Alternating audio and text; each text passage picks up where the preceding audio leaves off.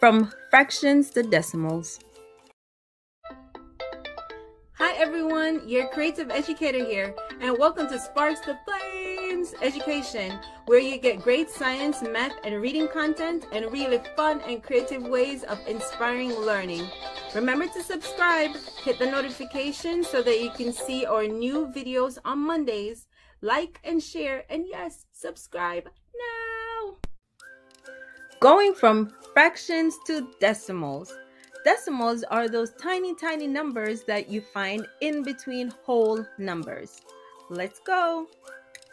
The prefix des or deci means 10, like a decagon is a shape with 10 sides, or December used to be the 10th month.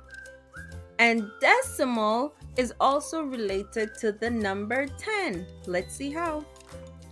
A decimal is a fraction number with the bottom number, which is also called the denominator, being a multiple of 10. So, for example, a fraction that is written as 1 over 10 can also be written as a decimal.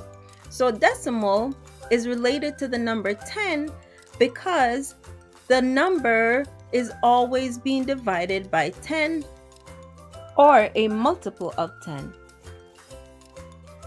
So how do you know a decimal? Decimals have different parts.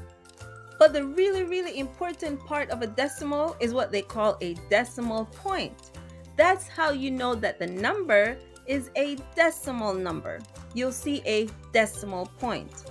You might also see whole numbers or you might see fraction parts. The fraction parts are written after the decimal point. The whole numbers are written before the decimal point. So take a look at this example. We have three wholes and then one tenth. That fraction can be written as a decimal. It can be written as 3.1.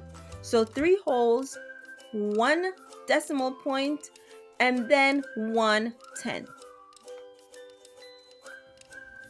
Decimals can be found in between whole numbers.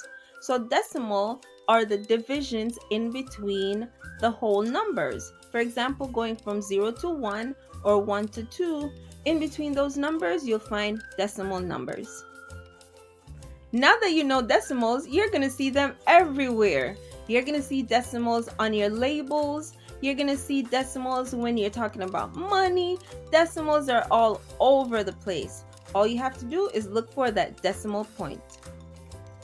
Thank you so much for watching. Please remember to like, share, and subscribe. See you next week, Monday.